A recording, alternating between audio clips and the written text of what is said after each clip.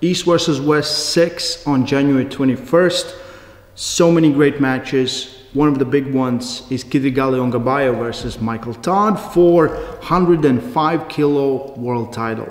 Let's take a look at this match. I'm gonna give you my analysis. I wanna hear your thoughts. Who do you think is the winner? Who, who will win or how the match will go or who do you think is the favorite in this one? So Michael is coming down from pretty much pulling super heavyweights to two classes down. East versus West has 115 kilos, 105, 95, 85, 75, I think 65 too or something like that. But so he's dropping a lot of weight and uh, I've been seeing him on his journey. He's looking leaner, but I think he will do a water cut at the end to make the weight for 105 kilo class. Kydirgaly Ongarbaev got the title from John Brzenk in uh, pretty much not the last one, but one before, East versus West 4, where he won John 3 to 1.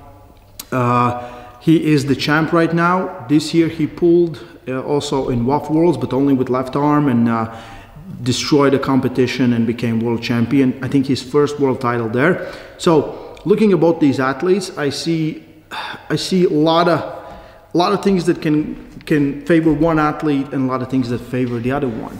And let's take a look at Kydirgaly Ongarbaev. So this is his weight class.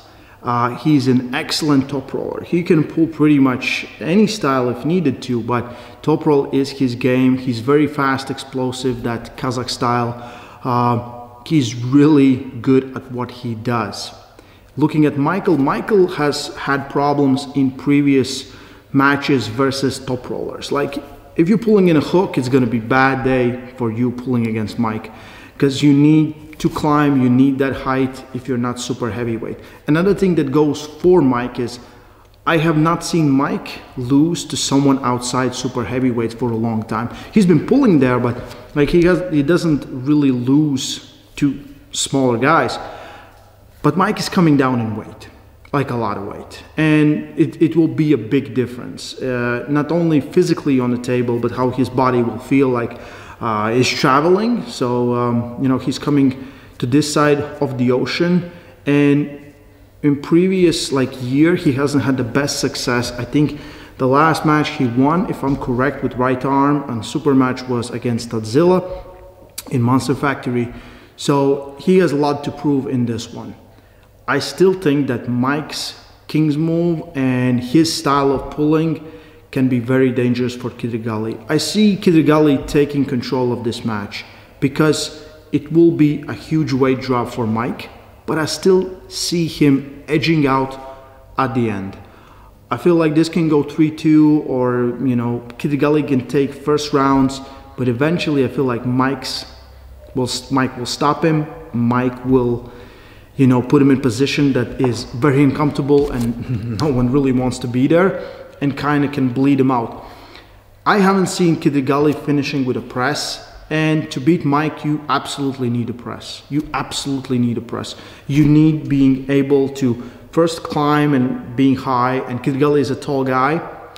And yeah, injury wise, both of these guys have been out. Like Mike's been out. He had some health issues, so he's been dealing with that. I don't know how good a shape he is right now. And Kydirgaly didn't pull in world championship with right arm, only with left. So I feel like something has happened there and uh, it's very hard for me to predict this one.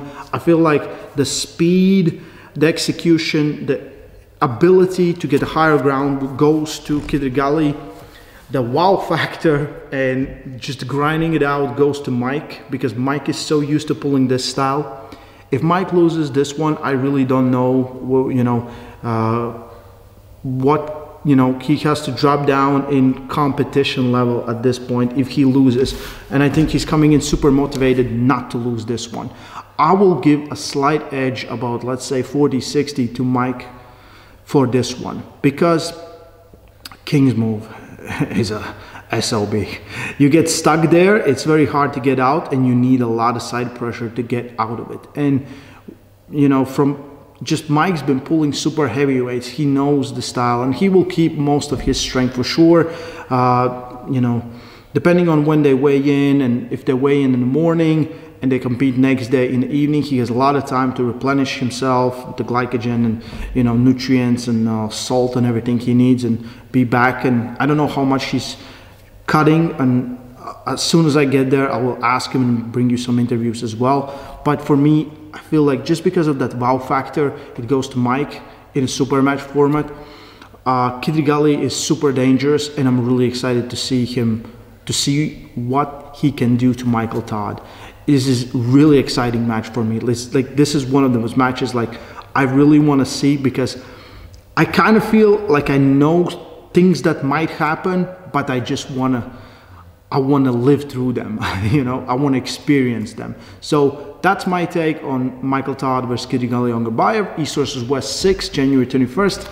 Link for the pay-per-view. Don't miss on this is in description. Stay strong. Love Arm Wrestling.